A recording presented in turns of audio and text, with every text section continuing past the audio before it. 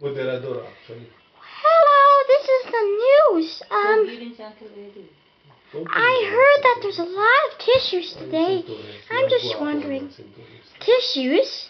Tissues? Kahit si Uncle Sammy. Why would they put tissues? Uncle Ray, mga You know, some people never know what these kind of things do to us. What tissues!